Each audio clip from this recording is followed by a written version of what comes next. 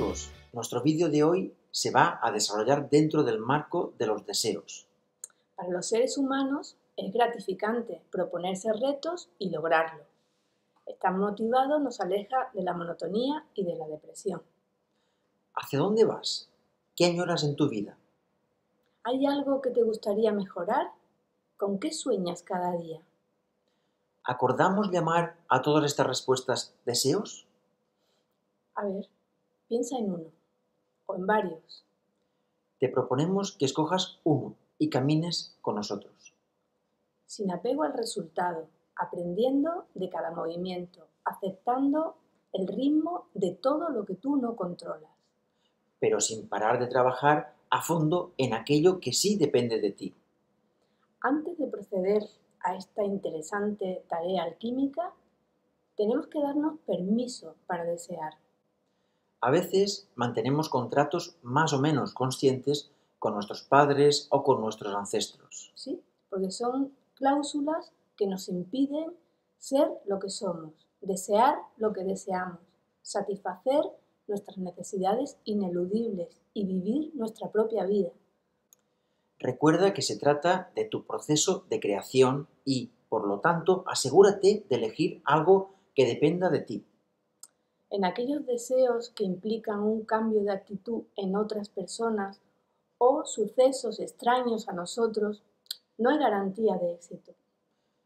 Para que el proceso de creación funcione, es necesario que ese deseo sea coherente con tu naturaleza esencial, no influido por condicionamientos familiares, sociales o culturales. ¿Qué te parecería dedicar unos minutos al día a un ejercicio de visualización creativa enfocada a lo que deseas? Con el entrenamiento cada día lograrás concentrarte más. Dale al botón de pausa y entrégate a centrar tu atención en esta tarea creativa personal sin exigencias, sin juicio. Simplemente comienza. Durante el ejercicio, primero construye una imagen mental de tu deseo.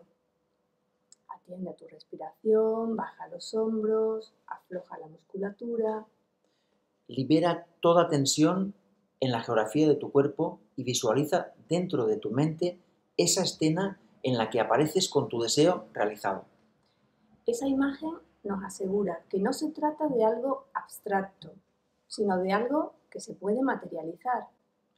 El siguiente paso es traducir esa imagen a palabras. Las palabras son sensaciones y pensamientos expresados y lo que te pido ahora es que formules tu deseo. Hazlo en tiempo presente, tal y como te gustaría que fuese en realidad. Por ejemplo, publico un libro bello y útil. Viajo a Londres. Lo veo y lo verbalizo. Mm. Describe aquello que deseas siempre en positivo. En lugar de decir no quiero vivir con tal persona, diremos vivo solo en un apartamento. Por ejemplo, céntrate en lo que quieres ver o materializar, en lugar de centrarte en lo que quieres evitar o no quieres tener. Cualquier cosa a la que prestes atención crecerá con más fuerza en tu vida. Cualquier cosa a la que dejes de prestar atención se marchitará, se secará y desaparecerá. Al tiempo que verbalizas tu deseo y ves la escena de logro en la pantalla mental, súmale emoción, súmale la experiencia somática al ejercicio. Es decir, la vivencia de la emoción que sentirás en ese momento atiende a tu piel, tu estómago, tu pecho por dentro, tus manos. Vívela con los cinco sentidos. Tu cuerpo se empapará de sensaciones alineadas con lo que quieres conseguir.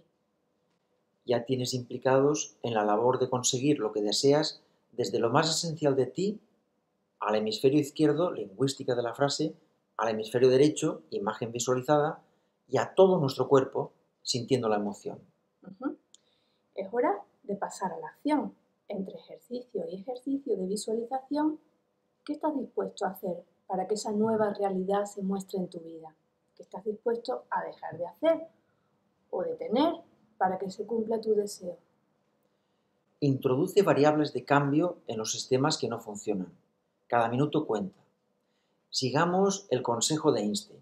Si buscas resultados distintos, No hagas siempre lo mismo. Adelante, no estás solo en este camino. Si te ha gustado el vídeo, danos un like. Gracias, hasta pronto. Muchísimas gracias.